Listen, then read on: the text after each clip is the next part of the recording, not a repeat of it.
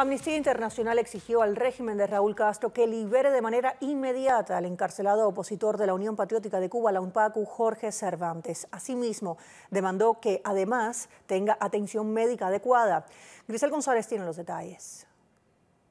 En un comunicado, Amnistía Internacional declaró que el opositor Jorge Cervantes es un prisionero de conciencia que tiene que ser liberado de manera inmediata y sin condiciones. Cervantes fue trasladado el 3 de julio desde Las Tunas a la prisión de máxima seguridad, conocida como Combinado del Este, a pesar de su delicado estado de salud, después de realizar una huelga de hambre de 39 días. Como consecuencia, tiene fallos renales de que ayer Amnistía Internacional lo declaró a él como preso de conciencia. Eso es bueno porque que él está injustamente y ahora en este momento eso es muy bueno para nosotros que, ellos estén solidarizando con nosotros, con la familia. Amnistía Internacional también exigió que tenga la atención médica adecuada y acceso a familiares y abogados. Este miércoles habló con su esposa desde la sala de penados en el Hospital Nacional Enrique Cabrera en La Habana.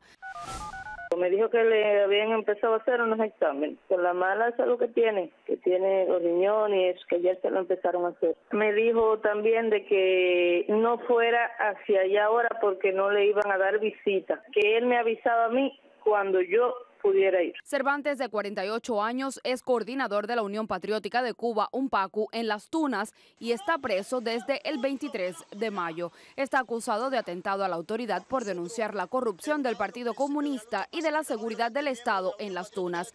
También había denunciado el acoso y hostigamiento contra su familia.